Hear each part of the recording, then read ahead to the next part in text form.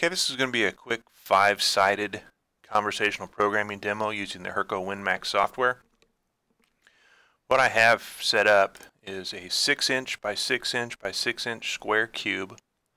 The top center of this block is my zero point. And I'm going to put some kind of feature on the top here, maybe a frame or, or something like that.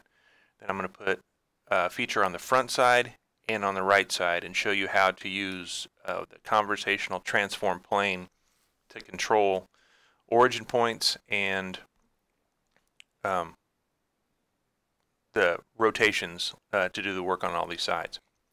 So the first thing I'm going to do is I'm going to go in and do, I'm just going to mill a simple circle on the top of the part. Center of the block is 0, 0, so that'll be the center point. Let's do a 4 inch diameter, so a 2 inch radius. We'll go 0.1 above. Let's make it a half inch deep. Use tool 1, which is a half inch end mill. And we're going to make that a pocket boundary. Now when I go draw, you'll see that we have a circle on the top of the part, again, just for reference. now I'm going to put a three-sided polygon or a triangle here on the front side of this part. So how do we do that? First thing we need to do is programming anything on the front side of the part while I am referencing the top of the part. Doesn't really make any sense. So the first thing we need to do is temporarily relocate our origin point. And I'm going to move it to this bottom left corner of that front side. So down down here on what would be the bottom left corner of the front. The next thing we'll need to do is rotate the work plane so it's perpendicular to this front side of the part. We do both of those with a conversational block called transform plane. So the way I do that is I'm going to go to my program, next block, rotary transform planes, and I'm going to do a transform plane. In this block, it gives me some fields over here on the left side to relocate my origin point, and it gives me some rotation angles in these fields here in the middle that will allow me to rotate the work plane. So first of all, I need to get some values to put in these origin point fields, and they're going to be just measured values from the original zero point to where I want to move it to. So if we go back to our graphics screen, and we look at the x, y, and z, the x being this red axis here, y will be green, and z is blue, I need to tell, tell the control how far is it from this first point to my new point. Well, I'm going to move negative 3 inches in x, I'm going to move negative 3 inches in y, and I'm going to move negative 6 inches in z. And that's going to move my zero point down to that corner where I want it. So I physically put those numbers in there. Minus 3, minus 3, and minus 6. So now I've temporarily relocated my origin point. Now I need to rotate the work plane. Well, if I was thinking about rotating the tool, because we never think about how the machine's going to move, we always program the tool moving around the part. If it was vertical here in this, on the z-axis, perpendicular to this top side and I want to rotate it so it's perpendicular to the front, I'm going to rotate around the x-axis. It's going to be an a-axis move and it's going to go from pointing straight up to pointing straight out in the front.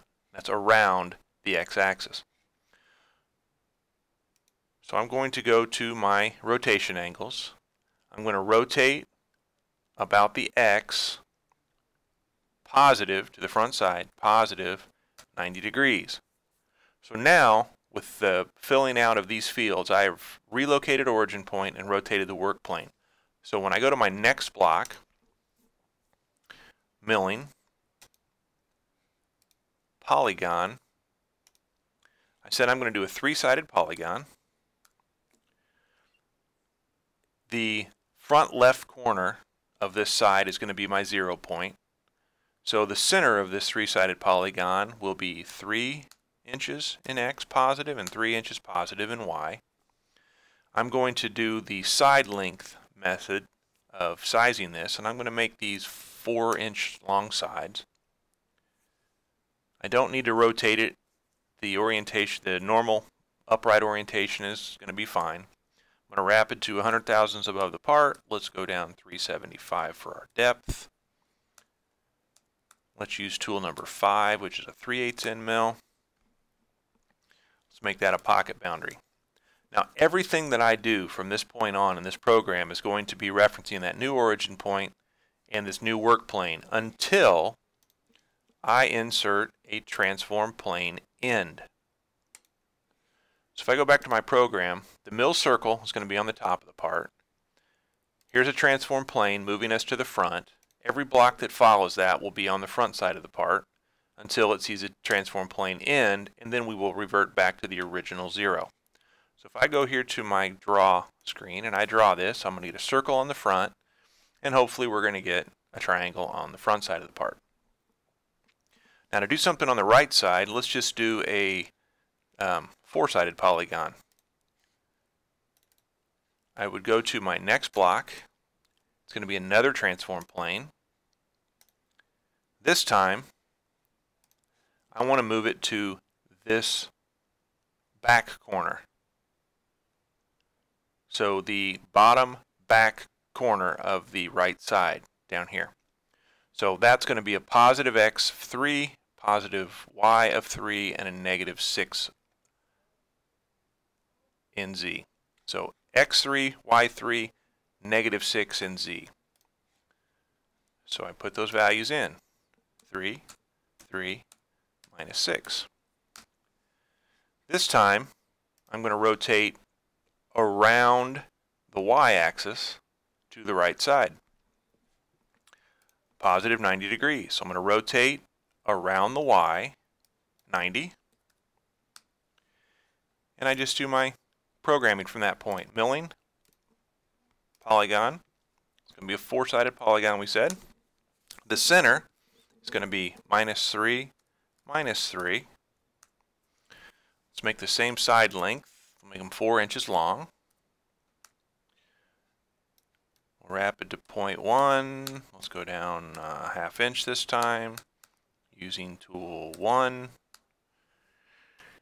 Pocket boundary and we're going to then end the transform plane.